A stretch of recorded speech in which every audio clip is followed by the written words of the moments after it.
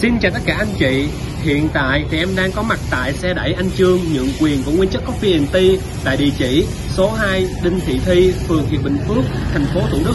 Như anh chị đã thấy thì xe đã được giao đến tận tay, lắp đặt và training cho khách một cách chuyên nghiệp với thiết kế cực kỳ bắt mắt, sử dụng tông màu đỏ làm chủ đạo, thu hút mọi ánh nhìn. Chào mừng anh chị gia nhập vào đại gia đình mua cà phê sạch của Nguyên chất Coffee and Tea. Xin chúc anh chị khai trương hồng phát, mua may bán đắt, một bốn bốn lời. Anh chị nào muốn sở hữu ngay siêu phẩm này hãy liên hệ đến hotline 0944 33 4343 hoặc website www.cafewinchuck.vn để được tư vấn trực tiếp và rước ngay em nó về nhà nhé.